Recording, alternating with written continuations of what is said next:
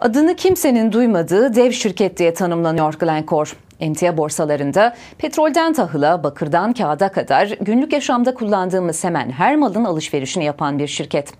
Glencore'un hisseleri bu hafta başında Londra Menkul Kıymetler Borsası'nda yaklaşık 60 milyar dolarlık bir değerle halka arz edildi dünyanın pek çok bölgesinde faaliyet gösteren, çalışma yöntemleri, yaptığı anlaşmalar gizli tutulan ve vergi kaçakçılığından yolsuzluğa kadar pek çok tartışmanın odağında olan dev şirket Glencore, yıllar sonra çevresini saran sis perdesini aralamaya karar verdi.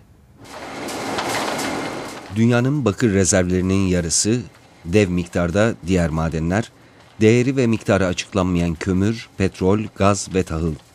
Şimdiye dek bu kaynakları elinde tutan Glencore şirketi hakkında kamuoyunun fazla bir bilgisi yoktu. Ama bu artık değişiyor.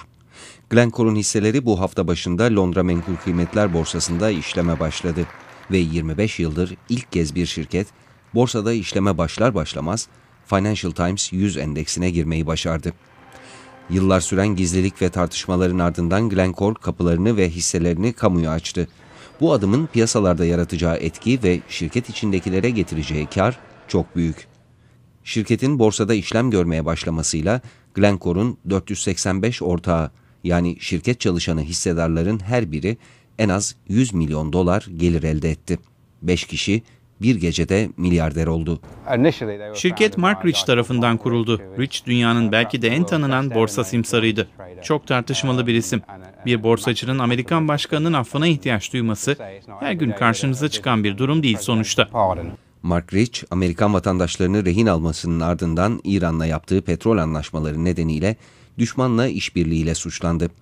FBI tarafından aranan Rich, İsviçre'ye kaçtı ve daha sonra Glencore'a dönüşecek olan şirketi kurdu ve hakkındaki suçlamalarla ilgili af yıllar sonra Başkan Bill Clinton'dan geldi. Rich 1983 yılında şirketten ayrıldı. Ancak ayrılma sebebi yıllarca tartışılan ahlaki gerekçeler değil, mali sorunlardı. Glencore'dan ayrılma gerekçesi yolsuzluk ya da vergi kaçakçılığı suçlamaları değildi. Asıl sebep o dönemde işlettikleri kaynakların fiyatını kontrol edememesi ve şirkete çok pahalıya mal olmasıydı.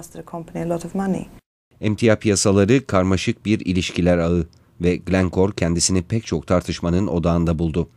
Zambiya'da vergi kaçakçılığı suçlaması, Namibya'da ulusal petrol şirketiyle kötü niyetli diye tanımlanan bir anlaşma, Güney Amerika'da el konulan madenler, Avustralya'da yerel kabilelerle yaşanan sorunlar. Ancak Avrupa'daki iş ilişkileri Glencore için en büyük problem olarak görülüyor.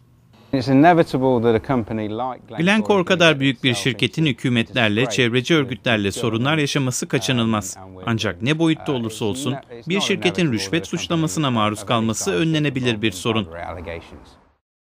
Glencore'un Brüksel'de karşı karşıya olduğu suçlamada bu. Biri eski, iki çalışanı bir devlet görevlisine rüşvet vermekle suçlanıyor. Bu suçlama ancak şimdi Glencore'un halka arzı yüzünden kamuya açıklandı. Şirketin yönetim kurulu başkanı Ivan Glazenberg, hisselerin piyasaya sürülmesiyle 8 milyar dolar kişisel kar elde etti. Ancak bu kişisel servetle ilgili büyük bir sır perdesi var.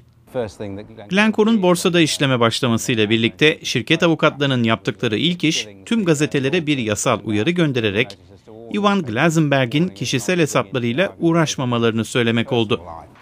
Glencore'un ne kadar büyük bir şirket olduğu ve daha da büyüme eğilimi dikkate alındığında mali piyasalar şirkete oldukça temkinli yaklaşıyor.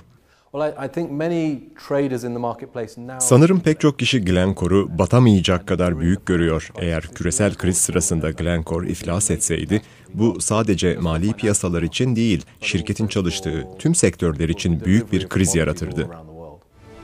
Glencore yıllarca bir sis perdesinin arkasında faaliyet yürüttü. Şimdi bu sis perdesi aralandı. Şirket hisseleri halka arz edildi. Şimdi spekülasyonların yönü uzun süre FBI'ın en çok arananlar listesindeki bir isim tarafından kurulan Glencore'un daha ne kadar büyüyebileceğine ve bunun olası etkilerine çevrildi.